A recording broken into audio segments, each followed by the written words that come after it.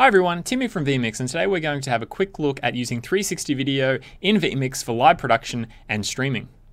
You've been able to use 360 streaming with vMix for a long time now, and if you've seen a 360 stream somewhere online, then there is a chance that they were indeed using vMix. Now I'm doing this video in 360, so if you want to see what it all looks like, um, then you can check the link in the description. Now if you're watching the 360 version of this video on YouTube, um, check out the description to see how it's all done. Now, as a disclaimer, using 360 video is probably for vMix power users and those that already have 360 cameras and experience with 360 video. Now, when 360 video first started, the typical live output of the camera would be dual fish eh, fisheye, which means that you would then need to stitch the video together into a format for your streaming platform. Most cameras nowadays will have onboard stitching or some software or hardware that will stitch it for you in real time. This stitch format is an it's an equirectangular 2 to 1 format that brings in the lenses and maps them in a way that can be seen via streaming providers. Now, this format can be accepted by places like YouTube, Facebook, and other providers that have 360 support. Basically, if you can input this video format into vMix from your camera um, or your stitching equipment, uh, then you'll be able to use it in your vMix 360 production. Recently, we've added a virtual set into vMix that allows you to place 2D objects in a 360 space. This means that you can insert images, video files, cameras, and titles that aren't wrapped by the 360 and can be easily viewed or read by viewers. Now, I'm going to quickly show you how to set that up. Okay, so now if you're watching the tutorial video, you can see uh, that I'm running a 4K production in vMix.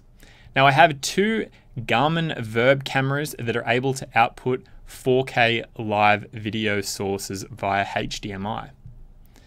So, well, technically that is a two to one equirectangular format. Um, so technically it's 3840 by 1920, but the camera stretches it out to a full 4K output uh, that I can input into vMix. Now, if you are using a place like YouTube, you will need to create an event uh, and select that you are using 360.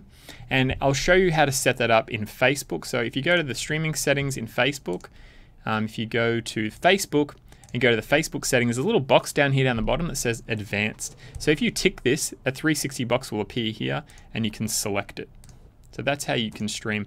Now, ideally you'd want to stream in the highest possible resolution possible. So streaming it at 21.6, so 13 3840 by 2160. Um, unfortunately, these settings kind of change all the time about what they recommend to stream to. So I would probably try streaming it at the highest resolution possible as opposed to the equirectangular format, which will be 3840 by 1920.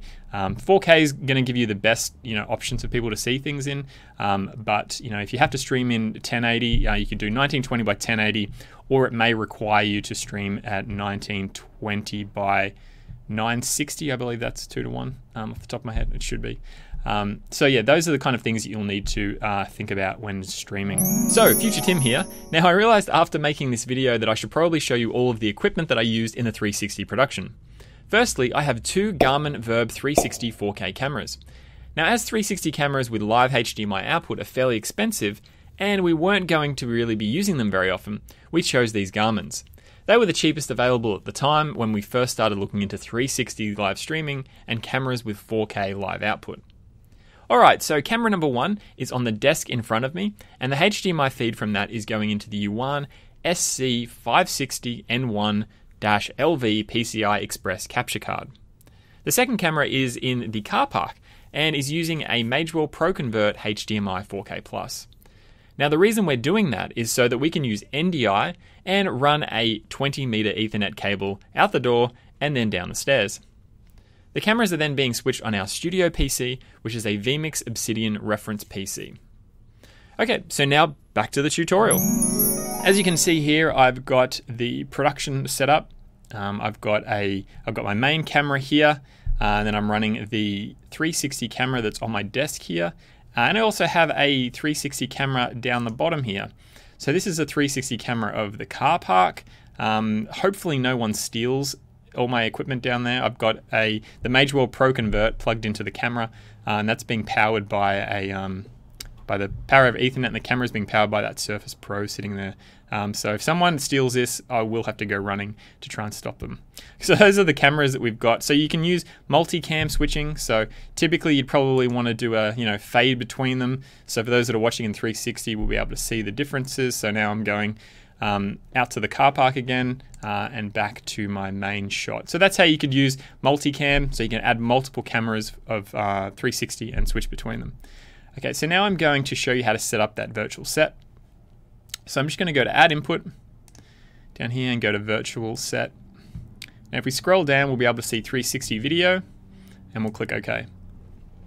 Now in 360 video, I'll now be able to set that up. So if I go to setup, the layer I want for the camera 360 will be the backdrop that I want to set. So that's going to be this main camera here. So I'll switch to that now. So now you can see I've got the UV 360 video here.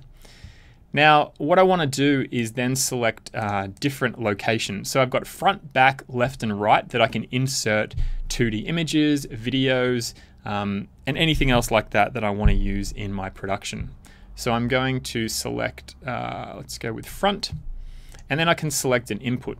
So I'm going to select uh, this New York City input. So for those that are watching in 360 will now see that uh, available. Now, how do I change the position of that? I need to change the position from the actual input itself. So I'm going to go to the position section and then I can move that around. So I don't want to actually change anything on the virtual set. I want to change it in the actual um, input itself. So let me just reset that. So let's just say, for example, I want to move this over here. I want to move this um, up the top here. So I can move it up the top, can move it around, um, I can zoom in and zoom out. So if I want to actually move it, say up here, I'll need to make sure that, actually I'll put it down the bottom here. Put it down the bottom. Um, I'd need to zoom in and zoom out to make sure that it's always going to fit in this section here. So that's probably a good spot for it um, down the bottom here. And so, yeah, that's how you set it up. So now if you're watching in 360, you should see a flat panel um, of this New York video. Now next I'm going to add another one. So if I go to, let's go to the left and we can add a video to the left, um, which will go with this one.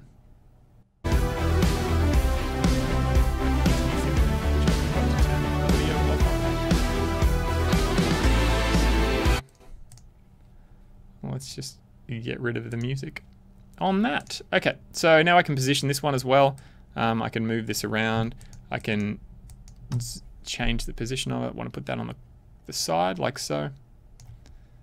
Okay, so now I've got two images, or two videos, sorry, that are, that are being displayed. Now, let's just say I wanted to use a camera. So what I'm going to do is I'm actually going to create a virtual input of this camera here and then I'm going to add that to my production as well. So I'm going to add that to the right and I'm going to use this virtual um, input here and then I'm going to position this to where I want it to go. So let's just position it on the side here. Let's just make it a little bit further up like so. So now I've got these 2D elements within a 360 space. So you should be able to see me. Uh, if you're watching the 360 video, you should be able to see me, but also be able to see these videos in and camera in different areas of your production. So when you go out and you stream this now, you'll have a full 360 around you, but then you'll also have these elements where you can drop them in. Okay, so let's say that you've got a, so we've got um, secondary camera here and you're like, oh, I want the same video spots to be in here. So what I could do is I could actually go ahead and duplicate this video, um, sorry, create a virtual input of the set, and then go back to the setup and create the camera 360 layer as the other camera. So what I can do is create this here. So if I cut to this, it's going to be in the same spot. Now this is handy if you've got um, say two cameras, but you always want to have a um, a video playing or a, a, third camera in that same position. So you could set that up to always be in that same position when you um, when you're streaming or you're recording. So yeah, you can do 360 recording as well. That's what I'm doing for this today. I'm not actually streaming this out live. Uh, I'm doing the recording so I can take a look at it to make sure that I haven't broken anything. Um, so yeah, that is how you set up these new 360 virtual sets in vMix. Um, how you can add 360 video. Basically, it's just like adding a normal camera source. Um, you just go into Add Camera, um, and you can select whatever source you've got. Um, same with NDI as well. Like I said, this is um, NDI will produce the same sort of videos if you were capturing a, you know, via a capture card. So this Magewell one here, as you can see, um, this is a Magewell Pro Convert, and it's actually bringing a 4K NDI 360 source in. So that's sitting down there, and it's coming in over NDI. All right, so that's about it. As I said before, you know, this is kind of for people that already have 360 cameras to play around with. Um, there's very expensive 360 equipment that you can um, use to do this, a little, probably a little bit better than what we have done. Um, this is kind of a really basic way to add some additional features if you are doing 360 video. So if you do have some lying around, you can check that out. Remember, uh, not a lot of um, cheap 360 cameras have a live video output, so you, you may need to, you know, you will have to pay a fair bit of money if you are looking to move into 360 because uh, the cameras definitely aren't cheap. Um, but make sure you try it all out before you purchase or you do it. Check a lot of reviews and that type of thing before moving into 360 or speak to people that have experience with it. All right, so thanks for watching and I will see you on the next video. Thanks for watching. Click to watch another exciting vMix video or head to vmix.com for a free 60-day trial. See you later.